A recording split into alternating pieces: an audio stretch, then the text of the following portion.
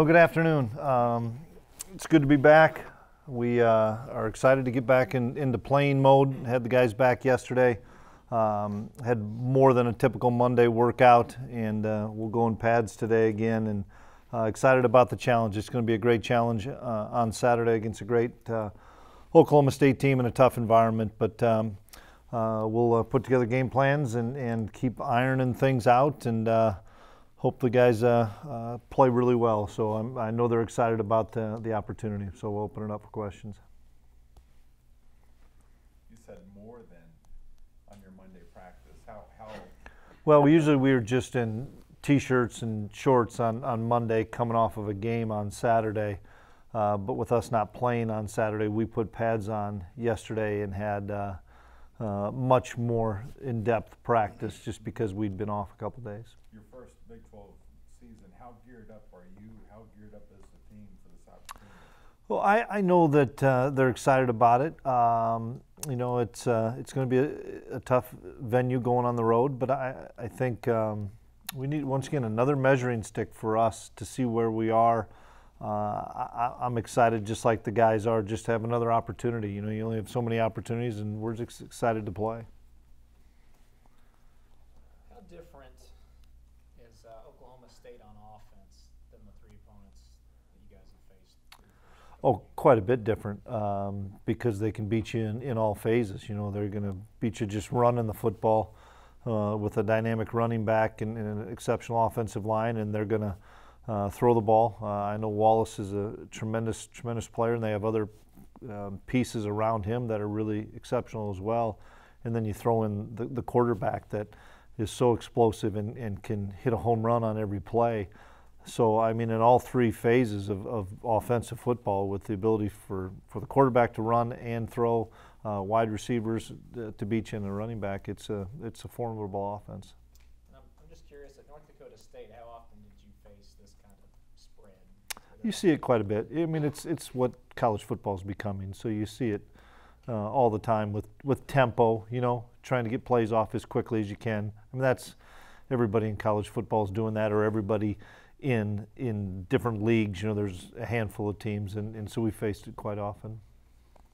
How important was it to have that off week right before getting into Big 12? Maybe a chance to kind of gather your thoughts and get the team feet back on it. Yeah, it was good for us from a staff's point of view to just evaluate where we are, what we feel we can do with the group of guys we have, where do where do we see our strengths, where do we see our weaknesses.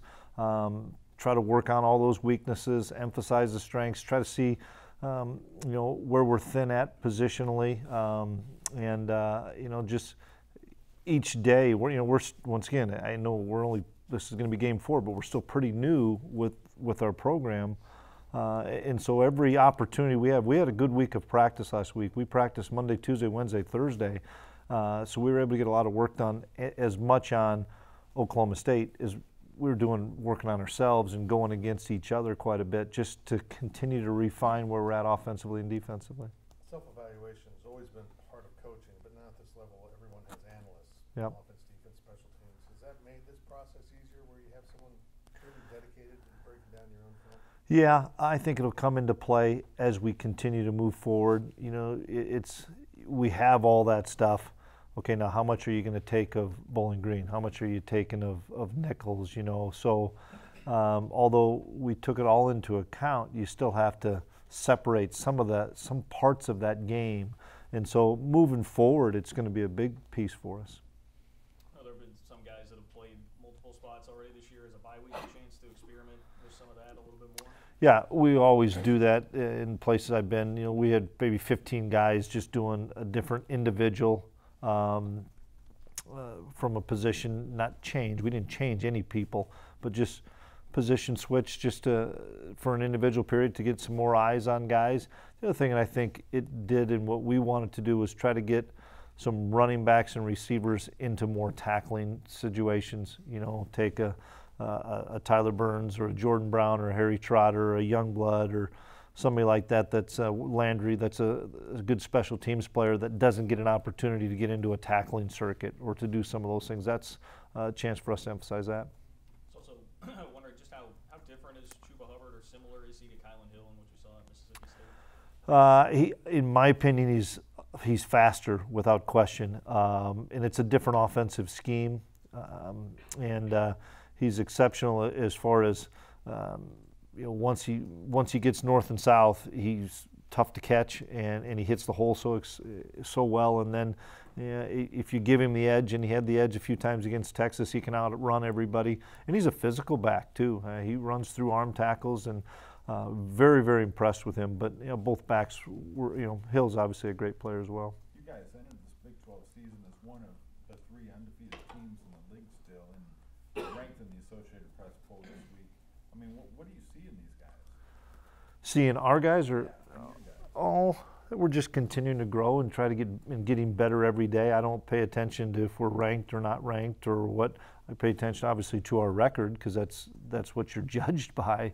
Um, but we're a long ways away from being a finished product. We have to continue to improve over the next two months because I know as you get into Big 12 play, if you don't have your A game every Saturday, you're going to get beat. There's just no no bones about it. Home, away, doesn't matter. You, you better come prepared with a great preparation throughout the week to give yourself an opportunity to be successful. And what's Daniel Green meant to this defense early? Daniel Green, he's been he's he's getting better. Uh, he's playing more, um, and I think each time he gets on the field, he's gaining more confidence. It gives us, uh, you know, a, a third linebacker right now that we can rotate and, and rotate often, uh, especially with the games, you know, like two weeks ago when it was so hot, and uh, this week it'll probably be warm again, even though it's an evening game. So he'll play an awful lot for us. Uh, going back to Chuba Hubbard, uh, what are you guys doing, or who are you using to kind of prepare your defense for a like that? Well, we have all of our. It's hard to replicate him, but you know whether it's um, you know C.J. Price or uh, Jacardia, we're using all those guys. I mean, that that's the hard thing is you have to practice some tempo where you're going quickly, and so everybody has to play running back. That's a running back. You're you're, you're in for a play, and then you're quickly lining up and running a play again. So you can't just focus on one guy uh, from a scout team standpoint, or you won't get enough plays off. Time of possession is a byproduct of productive offense and not necessarily something you concentrate on. Mm-hmm. But how important is it in, in a game such as against Oklahoma State? Yeah, it's really important for us when you have a team that wants to get you know between 90 and 100 plays, and uh, if we're not able to to move the fall, move the ball and, and move the chains and have some some effective drives and take some clock up, then we're going to be out there all day on defense, and we can't afford to do that. Um, we we need to try to keep the play play count down, and that's. Uh, obviously, some of the offense that we can do, and then us getting off the field when we have the opportunities on third down. But uh, uh, something that we're talking about as a staff without question. I'm sure you don't go into a season with preconceived notions on number of carries and that kind of stuff, but through three games, I think James Gilbert has one less carry than Jordan Brown and Harry Trotter combined. Would you have maybe expected James to get that much of the load? Has he just earned it, or is it too early in the season? Too early in the season. Once again, those first two weeks, um, you could say some of our freshmen had a lot of carries, which moving forward, they probably won't get as many as the veteran guys. So let's see how the Big 12 plays out. We need all those guys without question. All- of them are quality backs, and um, the the older guys are obviously going to get the lion's share of those reps now, just because you know it's it's their time and they're experienced. Is there any concern at all with Coach Dickey being down at Oklahoma State, knowing your offensive knowing their strengths and weaknesses, or, or has Coach Riley just changed them up that much that it's not going to be an issue?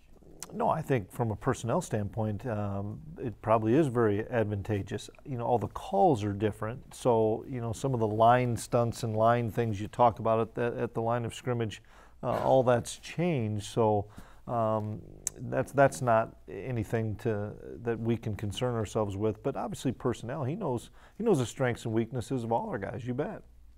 And the flip, flip side of that, I mean, do you feel like you got some advantage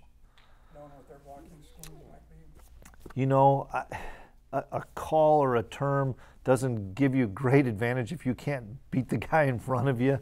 Uh, and obviously, people change things, and, and it's a different system that they're in that he's going to now. So, no, it, it still comes down to who the better player is, uh, uh, you know, that you're going across from, and, and so that's still going to come down to who's who's best in the trenches.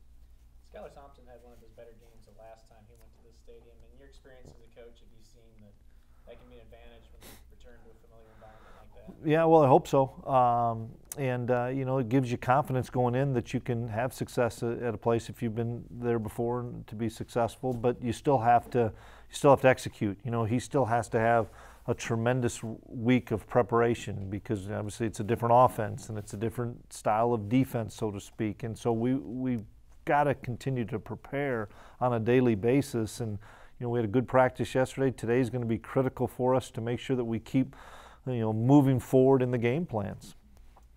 K-State historically has had pretty good luck recruiting kids out of Oklahoma, Tulsa area Mhm. Is that still, I know you're new, but is that still a place you guys value? You, you bet. Thomas Grayson, we took there uh, this year, um, and it's not far. And Jay Ray uh, is from the area, and so um, Coach Ray's done a nice job, and we'll continue, you know, to find guys uh, in in the in that region. But uh, it uh, it's Big 12 country, and so you want to try to make sure and um, give yourself a chance to recruit some of those guys.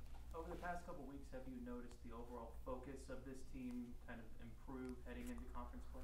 No, our focus has been good since we got here. You know, that's the thing. I don't want a roller coaster. I want our guys to have great focus, and they've had tremendous focus from the spring or winter to spring to summer to fall. And you know, um, that's that's what we're striving for is to have guys prepared to practice every day, prepared for meetings every day, prepared for walkthrough, uh, prepared to, to to make sure that they're understanding the game plans and watching film. And, and that's I think um, a credit again to our older guys and our leadership that uh, they challenge everybody to be great every day. Are Wyatt Hubert and Walter Neil on track to play? Yes, they both are. They both have practiced the last three practices. They'll be ready to go. And then Cody Fletcher? is I would say Cody's out this week. What has impressed you most about the running game right now? Uh, the fact that we've been able to do it out of a variety of formations. We've been able to do it um, under center. We've been able to do it out of out of gun.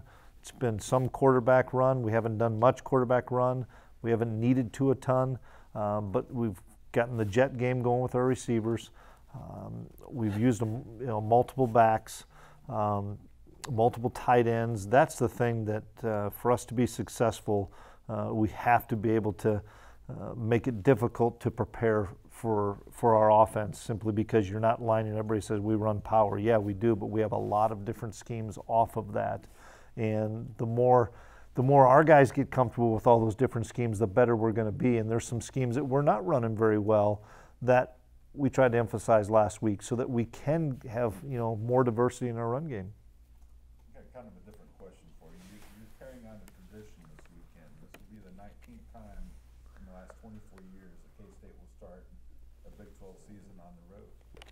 Um, What are your thoughts maybe on, on that trend and would you look forward to starting on Big Twelve season at home maybe next year? It, you know, I control what you can control is what I would say, um, and so you know that's it's going to even out or close to even out in the Big 12. Obviously, it doesn't totally even out, but uh, um, that that is that is what it is. You're on the road, and and uh, you have to you have to be able to prepare and play well on the road. And you know that once again, it's another great challenge for us to be able to try to see if we can continue to improve, continue to to get better in all three phases. That's what, that's what our goal is this week. On the flip side of that, first of all, it's not gonna even out. A lot of time to get it evened out. But, uh, on the flip side of that, you, this is a year where you have five Big Twelve home games Yep. out of the nine. So now you're looking at five out of eight in Manhattan coming down the stretch. Does that even maybe add some more importance to this game because now you're gonna be coming home quite a bit? you know, if you look that far ahead, you're going to get beat, period. And so we're not focusing on whatever's after this game. This is our only focus. And just like, um, you know, Nicholls and Bowling Green and people like, aren't you excited about playing Mississippi State? No, we're excited about attacking Bowling Green and continuing to improve. And, and you know, it's easy to say we have 12 one week seasons, but that's the way you have to approach it. And, and the opportunities, nobody's guaranteed uh, a game after this one. Somebody could get hurt and stuff. So you, you try to, you know, put your best foot forward every Saturday. You anticipating this environment, this road environment being tougher than what you saw at Mississippi State? Yeah, I- I- mainly because they're closer. Um, you know, they're right on top of you. And, and I've been down there once, but the, the guys have, have told me uh, as well about you know how tight it is. The sidelines obviously are really tight, and uh, and it'll be exceptionally loud just because it is their Big 12 home opener as well. And so, you know, we worked the noise last week. We worked it yesterday. We'll work it again uh, today, and and uh, um, hope that we have enough different uh, variety of snap counts and stuff that uh, we're able to execute. Have you crossed paths much with Mike Gundy? Just just at no, uh, just at the last couple, at the last Big 12 meeting, uh, I, I sat with him and spent a little time with him and, and bounced some ideas off of him, and I was really appreciative appreciative of him, uh, of, of willing to sit and visit with me and answer my questions, and uh, so much respect for him um, because he's a ball coach and he didn't care that I was a rival. I was another coach, and he just, hey, I'll help you out ever, however I can, and, and uh, that meant a ton to me. On that same note, he's been somebody with a history of hiring kind of non-traditional coordinators from different places and really falls into that football Yep. mentality. Did he talk about that with you at all? No, but the first thing he said to me was, I, I, how cool it was, what a run you guys had at North Dakota State. What you guys did was, there was remarkable. He appreciated and knew of what the past was, where, where we came from, and uh, appreciated good football and said, shoot, that was fun to watch you guys. You guys had one heck of a run.